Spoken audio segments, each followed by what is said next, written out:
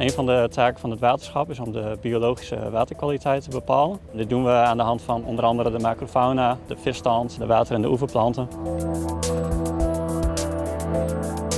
Macrofauna, dat zijn alle ongewervelde waterdieren die je nog met het blote oog kan zien. Bijvoorbeeld uh, muggenlarven, kokerjuffers, kevertjes, slakjes.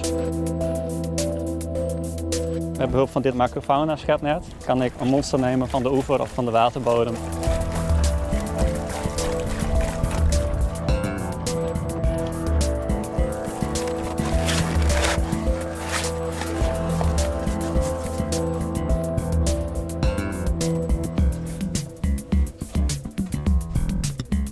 We zien hier een bootsmannetje, die we net hebben eh, bemonsterd in de plas. Aan de hand van dit soort macrofauna kunnen wij dus zien hoe het gaat met de waterkwaliteit. En als het een schonere kwaliteit water is, dan heb je meer variatie, dus niet van één soort heel veel.